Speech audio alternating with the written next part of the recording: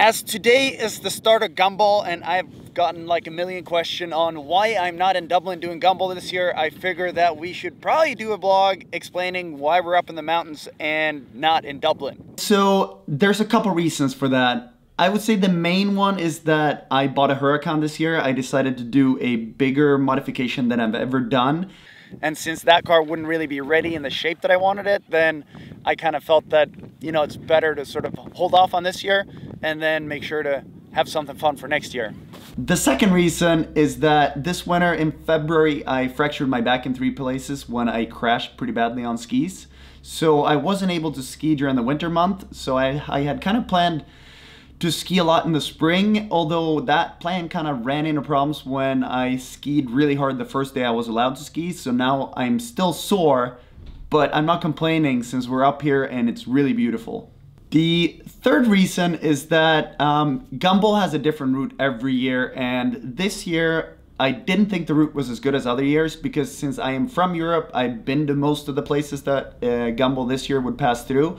Um, we've also passed um, a lot of the places on previous Gumball years. So I kind of thought it was a good year to sort of step away and do something else in the spring and then kind of wait for the route next year and hopefully that will take us to places I haven't been because a big part of Gumball for me is seeing new places and since I've been to Edinburgh, London, and I've been around Europe a lot, it wasn't a route that I felt uh, was perfect for me. The fourth reason is that for I would say 11 months now, I haven't had a single drink of alcohol and that kind of makes me party pretty much nothing. And since sort of a big part of Gumball is the amazing parties they have, um, it kind of like, for me at least this year, I felt that I wanted to focus on on business and really sort of bring all the ideas that I had to life as well as spending more time um, being healthy, being in the mountains and kind of just, um, well, trying it a bit different this year. So I guess that affected uh, the decision a bit as well.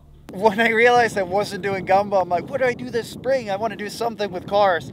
And then I'm like, oh, let's do this thing. And I kind of came up with this last minute plan, which was supposed to be like a tiny project and it wasn't supposed to be a big deal at all and not require any of my time. But here we are again with me always doing things 110% and always going overkill. So I've spent the last couple weeks with long night phone calls and emails, and hopefully it will all come together.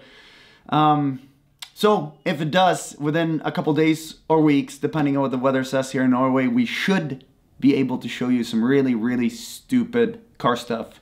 But for now, let's roll some drone footage for everyone that thought we were idiots yesterday, but today we actually got the thing to fly, and it's really, really, really fun.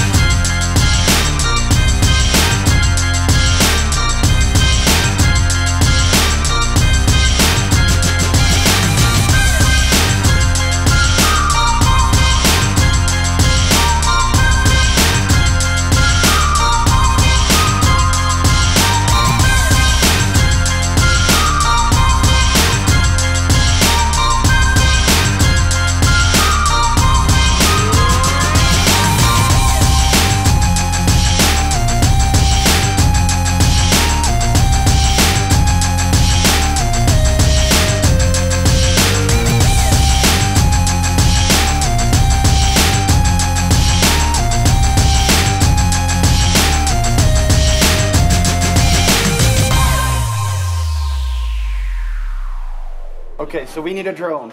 We need the best drone you have. Phantom 4. Phantom 4. No Phantom 5? No?